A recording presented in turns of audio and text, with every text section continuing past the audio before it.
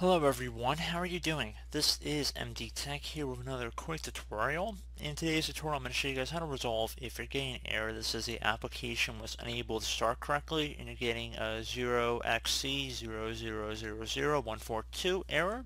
So we're going to go over a couple ways to hopefully resolve it. So first thing I would suggest would be to open up the start menu, type in whatever program you're having the issue with. So in my case, let's just say it's CCleaner. You want to right click on it and then left click on open file location. Now there should be a shortcut file type listed in here that would be auto directed from the start menu if you were to search it up. You want to right click on this shortcut here and then left click on properties. Now you want to left click on the compatibility tab and you want to select run this program in compatibility mode 4. I was suggesting Windows 7 or Windows 8 generally speaking However, you can try earlier versions of Windows as well, and you can play around with it until you find one that perhaps works.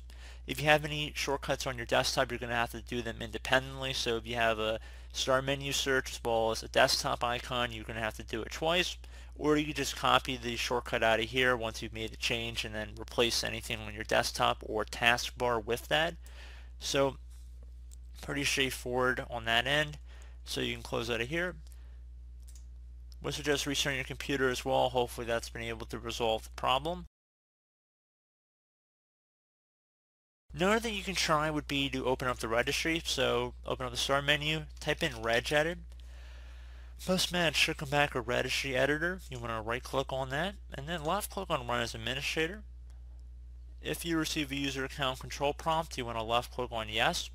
Now, before you ever do anything in the registry, I would suggest creating a backup. So if you're unfamiliar with how to do it, just left click on the file tab at the top left one time, left click on export, save it to a convenient place on your computer, preferably like a desktop or an external media source. So you'll be able to easily retrieve it in the event you ever had to roll back your registry.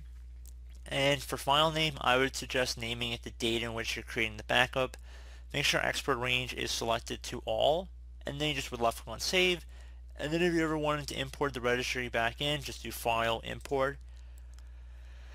Locate the backup registry keys, locate the backup of the registry, and then left click on Open. So pretty straightforward. So once you've done that, you want to go ahead and expand the HK local machine folder. So either double click on HK local machine or left click on the little arrow next to it to expand the dropdown. Then you want to do the same thing for the software folder. Now, same thing for Microsoft, so expand Microsoft. I'm going to drag this over a little bit. Now you want to go down to Windows NT. Expand that one as well. Expand current version.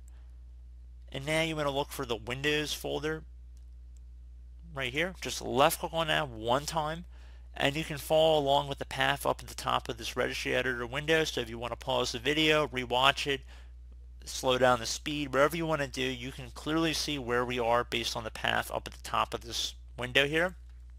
So anyway, now that we are here, on the right side, you're going to look for a dword value that says load app init underscore dlls. You can see that right here. Double click on it.